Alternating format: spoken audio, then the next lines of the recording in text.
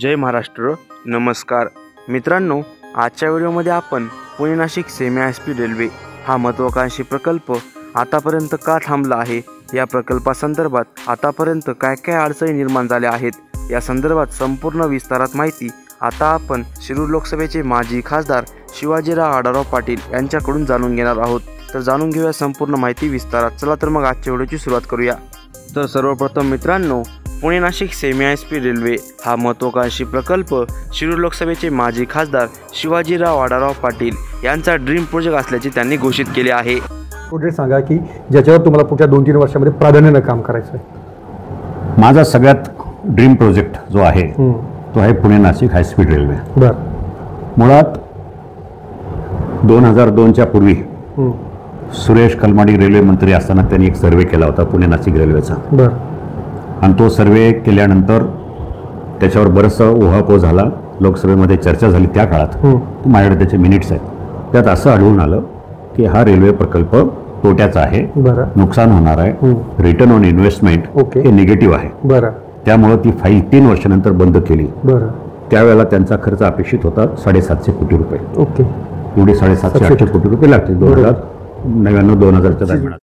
आणि तसेच मित्रांनो Pune Nashik semi I P railway प्रकल्पासाठी त्यांनी केंद्रामध्ये आणि राज्यामध्ये कशा प्रकारे या रेल्वे प्रकल्पासाठी पाठपुरावा केला या संदर्भात त्यांनी अधिकची माहिती दिली आहे. मी खासदार झाल्यानंतर दोन हजार पाचला ती फाईल परत उघडली. दोन हजार पाच सहाला त्यावेळेला सुद्धा return on investment R R जो म्हणतात आर आय हो. तो परत निगेटिव्ह निघाला. मी पुन्हा एकदा सगळा विचार केला की अरे बाबा इथं कृषीप्रधान जिल्हा आहे नगर नाशिक आणि पुणे. ह्या मालाची वाहतूक तिथं जर गेली तर मध्य भारतात चांगल्या पद्धतीने माल जाईल. तिथं Chakan M I D C आहे तिथं ऑटोमोबाईल मार्केट आहे हेवी इंडस्ट्रीज आहेत. त्याची वाहतूक आपल्याला जर करायची असेल तर ते एक चांगला उपयोग होईल. मग दुसऱ्यांदा मी रेल्वेचं सर्वे करण्यासाठी सर्वेचं काम मंजूर करून घेतलं. जे काय कोटी दोन चार कोटी असतील तर. आणि त्या अधिकाऱ्यांबरोबर मी स्वतः हं. मंचरची मार्केट कमिटी खेडची मार्केट कमिटी इथं मालाची एवढी वाहतूक होते तिकडं वाहतूक होते नारायणगाव आहे जुन्नर आहे. हे सगळं फिरून दाखवलं आणि सर्वे करायला लावलं. बर. त्यावेळेला त्यांना तर असेल साधारण दोन हजार दहा बाराच्या दरम्यानची. आणि त्यावेळेला त्यांना तो आरो आहे पॉझिटिव्ह आला. पॉझिटिव्ह आल्यानंतर काँग्रेसचं सरकार होतं. मी पाठपुरावा केला. लोकसभेमध्ये भांडलो. बरं. आणि त्यांनी त्या प्रकल्पाला तत्वशा मंजुरी दिली. ओके. दोन हजार बाराच्या दरम्यान. बर. त्या मंजुरीमध्ये मंजूर करून लोकसभेच्या सभागृहामधून तो प्रकल्प प्लॅनिंग कमिशनला गेला. कारण त्यावेळेला त्याची किंमत होती चौदाशे पंधराशे कोटी रुपये. ओके. तो प्लॅनिंग कमिशनला गेल्यानंतर तो इतके प्रोजेक्ट आम्ही पाठीमागचं बत्तीसाव्या क्रमांकाची फाईल असल्यामुळं. ते काय त्याला नंबर आला नाही ते लॅब झालं. बर. दोन हजार चौदाला सुरेश प्रभू तिथं परत मंत्री झाले. त्यावेळेला मी त्यांच्याकडे मागणी केली. पहिल्या वर्षी ते नाही म्हणाले मी तिथं सुरेश प्रभू तसे माझे जुने मित्र. त्यांच्यावर मी टीका केली. त्यांनी रात्री मला घरी बोलून घेतला रे तो असं का केलं तुम्ही? हो मग माझी मागणी आहे. मी सांगायचं नाही का अगोदर आपल्याला? नाही म्हटलं आता सांगतो ठीक आहे मग पुढच्या वर्षी दोन हजार पंधराला त्यांनी त्या प्रकल्पाचा आदेश दिले आणि जवळजवळ अडीच हजार ते सत्तावीसशे कोटी रुपयाचा प्रकल्प मंजूर केला. ओके. ही चौदा पंधराची गोष्ट. हां.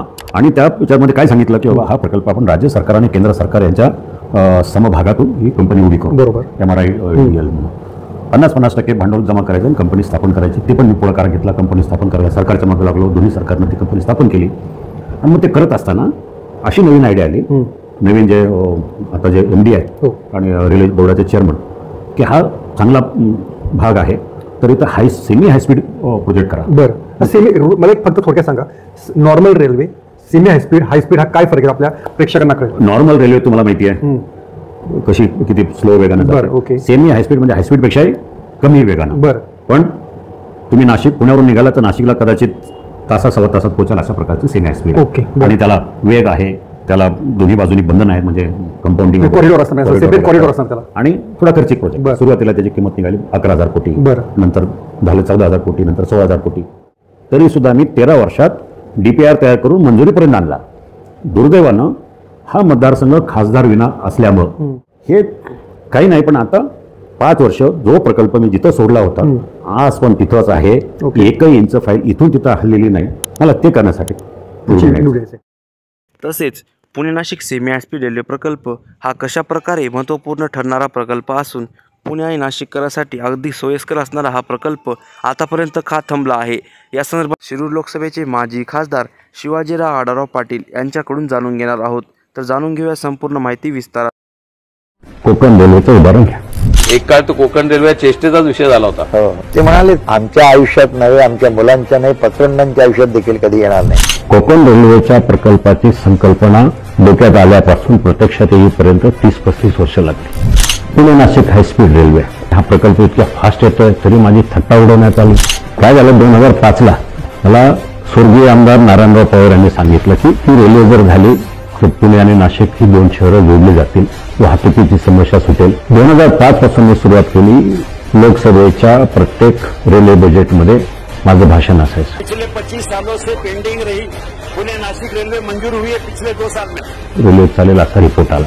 दुर्दैवानं दोन्ही तिन्ही वेळाला त्या नियोजन आयोगाकडे तो प्रकल्प तिथं अडकला. दोन हजार चौदा साल उजाडलं.